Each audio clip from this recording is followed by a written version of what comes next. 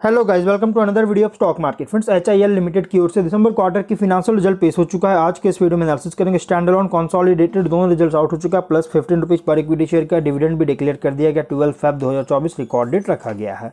तो अब हम लोग चलते हैं कंपनी के फिनेंशियल रिज़ल्ट पर। गाइस पहले हम लोग कॉन्सॉलिडेटेड फिनेंशियल रिज़ल्ट को कवर करेंगे। और नंबर्स की बात करें तो कंपनी के जो नंबर्स दिए गए हैं गाइज़ लैक्स में दिए गए हैं। इनकम है इस बार का 794 करोड़ का। पिछले क्वार्टर में 728 करोड़ का। दिसंबर 22 क्वार्टर में 767.6 करोड़ का इनकम है। Quarter on quarter year on year दोनों में इंक्रीज किया है। एक्सपेंसेस 805 करोड़ का। पिछले क्वार्टर में 766 करोड़ का। दिसंबर 22 क्वार्टर में 749.5 करोड़ का एक्सपेंस हुआ था। क्वार्टर ऑन क्वार्टर में तो इंक्रीज है बट ईयर ऑन ईयर में बहुत ज़्यादा। इसके कारण प्रॉफिट में बहुत ज़्यादा फॉल है। बल्कि लॉसेस देखने को मिला और इस बार का लॉस है 11.3 करोड़ का। पिछले क्वार्टर में 24 करोड़ का लॉस है और दिसंबर 22 क्वार्टर में 18 करोड़ का ऑपरेटिंग प्रॉफिट है। क्वार्टर ऑन क्वार्टर में रिकवर है ईयर ऑन ईयर में डाउन है, क्योंकि एक्सपेंसेस बहुत ज़्यादा किया गया था।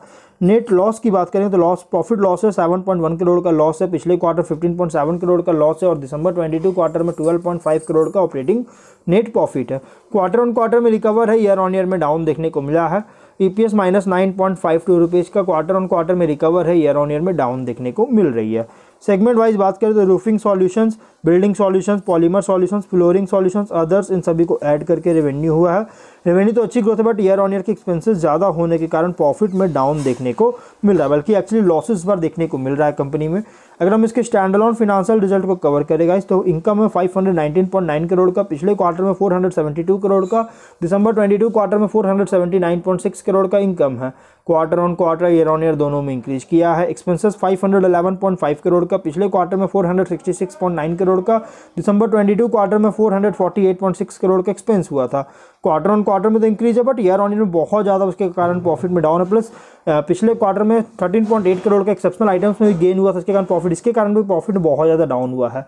ऑपरेटिंग प्रॉफिट 8.4 करोड़ का, पिछले क्वार्टर में 19.3 करोड़ का दिसंबर 22 क्वार्टर में 31 करोड़ का ऑपरेटिंग प्रॉफिट है। Quarter on quarter year on year दोनों में डाउन देखने को मिला है।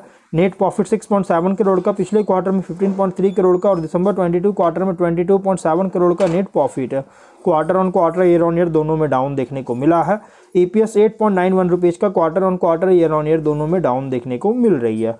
तो गाइज़ कंपनी का ओवरऑल रिज़ल्ट अगर देखा जाए ना तो बहुत ही एवरेज है। क्योंकि देखिए कॉन्सॉलिडेटेड में कंपनी का प्रॉफिट ईयर ऑन ईयर में डाउन है, क्योंकि एक्सपेंसेस ज़्यादा हुआ था।